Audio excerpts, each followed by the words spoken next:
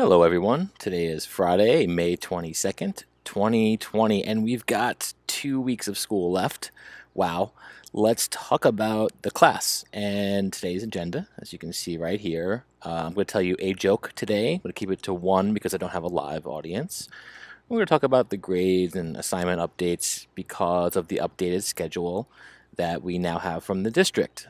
So, good news first. Um, we now know exactly what we're dealing with, right? So let's talk about what that means for our class today. But first, a joke. Okay, so here's the joke. What is the essential question to ask when buying a pencil? What's the essential question to ask? The question is to be or not to be. Yes, I thought you'd like that. All right, so that's my that's my joke. Um, and let's move on. So remember, some things about this particular class. Everyone will pass. Yes, everyone. Yes, everyone will pass. And if you're somehow close, I'll reach out and work with you. Um, but I, I, everyone's going to pass. That I'm going to guarantee. Also, I can guarantee that late work gets full credit. Yes, late work gets full credit. Late work gets full credit. So those two things, I've said that multiple times, but I'm going to highlight that for you because you need to know that, right? So those two things are um, kind of, they should be in the background of your mind when you're thinking about this class, okay? Everyone's going to pass. I'm, that means I'm going to pass, and all of my work, late work, gets full credit. Okay. The third thing to keep in mind now with the shifted dates from the district is that everything is due on June 5th. June 5th. June 5th. That's when everything is due. And I'll give you until 11:59 p.m. on that day, the very last minute that I can. Okay? So everything is due on June 5th. Now, that is different from what we have talked about in past weeks, and that's because the schedule has changed. So we need to change our assignment as well. And what I've been trying to figure out is what is uh, a reasonable way to do that, and that's fair to you, but also covers the content that you need to cover, right? So let's talk about that. So these are all the due dates, and I have updated this on Khan Academy and on Google Classroom, and I will also email this out. But essentially, we have done trig and stats. Okay, those two have been due already, and now we move on to Algebra 2 and Pre-Calc. And these Khan Academy assignments, um, what the biggest modification I have made is to Algebra 2. So that assignment I'm asking you to complete 65% of now. So I took off a, the largest chunk, the lar largest modification I could make was in Algebra 2. Why did I make it on Algebra 2 and not on Pre-Calc or Delta Math? It's because out of these assignments, 3, three through 6, I believe the Algebra 2 assignment is the most intensive and requires the most work. So, in order to help you succeed and get through all your work, this assignment, the third option here, remember you're still picking four out of six, I've reduced the third one significantly. Now, before we talk about each of these assignments individually, and I will remind you of this later, um, what assignment should you do? Should you do, and in what order? Well, basically everyone has done trig and most people have done probability and stats. So out of the four remaining, which two would I recommend that you pick. Okay, well, I would do Khan Algebra 2 and Pre-Calc if you liked working on Khan Academy. Okay, so if you liked Khan Academy, stick with it. But in terms of time and efficiency and thinking about next year in pre-calc, out of the four remaining choices, if I was thinking about pre-calculus and time, the two things I would definitely do, I think that the quickest, are 4 and 6. So out of three, four, five, and 6, the Khan pre-calc series is very quick. Let me just show you what I mean.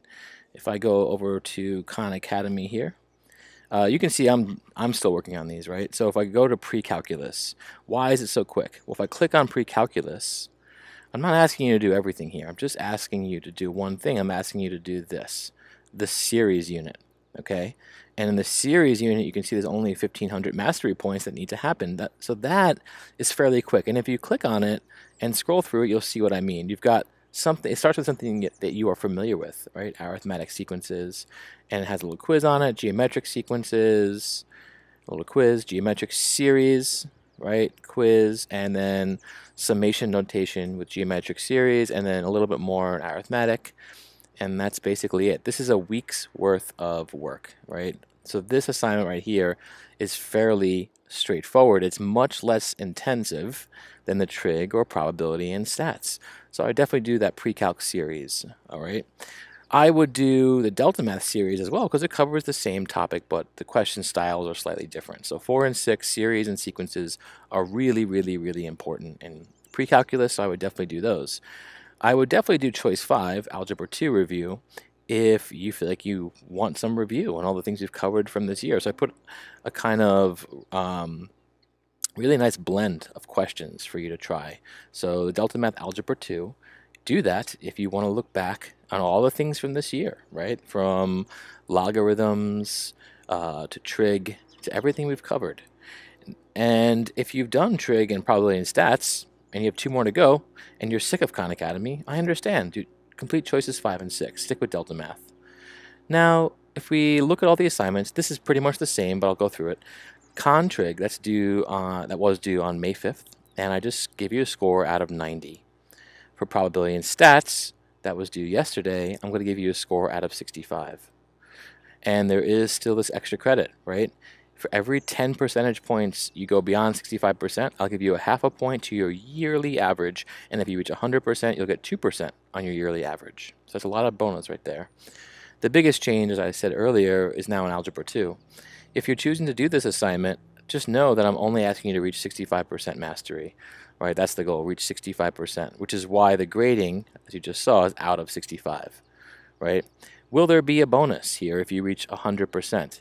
Yes, but that's part of the bonus uh, that you would receive if you do all the assignments. So only go for 100% in Algebra 2 if you A, want to and are interested in learning that content in that way, or reviewing that content in that way, I should say, or if you plan on doing all the assignment, all of the assignments and want that bonus added on. The pre-calc series, as I said, I'm grading that out of the 1500 mastery points. And so I'm just going to take however many mastery points you have in the pre-calc series, all right, and divide by 1500. For Delta Math, Algebra 2 review, and Delta Math series, um, you can choose the due dates for those. At this point, if you're using those two as your final two assignments, you would have those due dates be the 29th of May for one of them and then June 5th for the other because everything is due on June 5th. So what is the bonus for completing all six assignments? Now, when I say completing all six, I mean really completing. Basically getting 100% on all of them. Yes, if you get 99% instead of 100, I'll consider that, but getting 100% on all of them will certainly give you a bonus. Right? It'll certainly give you a bonus. What will the bonus be? I don't know exactly. I have to look at the numbers, and I'm not going to answer that question until I have my data in front of me. Okay, so you need to be patient on that one. So these are all the due dates. I'm also sending out a Google form because because I'm offering six assignments and saying that you're choosing four of them, I need to know which four are you choosing, right? Which four? Let's finish by looking at the form that I'm asking you to fill out, right? So put your information in, pick a period, and then here on this page, I break down each of the assignments, and all I need to know is what is your plan for each assignment. Your plan, what do you intend to do? So for, for the trig assignment, that was due a while ago. But I want to know, are you going to go to 90% or try and reach 90%? Or are you going for the 100%, try to get some kind of bonus? So at this point, you might be thinking, maybe I'll go for it if I have time. I'll go for that 100% and get a bonus. All right, then pick this one. For Khan stats, right? Maybe you tried it, but you don't want to do it. So maybe that's one of the two assignments you'll skip. But if you want to complete it, click this one right here. You're going to try to reach 65%. That's completion. That's 100%, right? If you think you might go for the bonus, then click the last one. And for Khan Academy Algebra 2, again, if you're going to skip it, click skip it. If you're going to try to complete it for 65%, click this one. If you want to try to go for 100% and get some kind of bonus for completing all six assignments, then pick the last choice. And for pre-calc, it's the same thing. Are you going to skip it? I hope you don't. I hope you try it and try it as an assignment or try it as a bonus for all six assignments. What's your plan? I'm curious. For Delta Math, Algebra 2, skip it, complete it, or complete it to 100% as a bonus, right? What's your choice, right? These are completing it as an assignment versus completing as part of a bonus to get all six done. You're only going to pick that last choice if you're going to try all six assignments, right? If you think you're going to go for that. Otherwise, just complete it as an assignment here. And again, same thing at this part. So go through all of them. And then on the last, uh, I'm just telling you that here, everything is due on June 5th. Click on this to indicate that you understand. And I'm curious, what do you want to do? Do you want to take a pass or fail in this course? Is that your plan? Do you want to take a numeric grade or maybe you have no idea, right? And it's not guaranteed. You're not signing anything here. You're not you're not um, held to this choice. So if you pick numeric and then later want to do pass fail, that's fine. Um, but here, at the very end, tell me what your reasoning is. What are you thinking so I can give you feedback and help you out? So if you pick numeric, um, you might just say that I believe I can use this quarter to raise my yearly average. Maybe that's your reason. Maybe that's what's motivating you. Then you click next and submit it. That's it. That's the whole process. Now I think here, just so you know, if you pick I have no idea and I am having a rough time right now in general, maybe maybe that's you. Um, I just put one extra question in there. If if you're if you're picking, you know, that you're not sure, I'm just I'm asking you, are you leaning more in one direction or the other? Why? What are you maybe thinking? I'm trying to nudge you in a direction so that we can have a useful conversation. All right, thank you.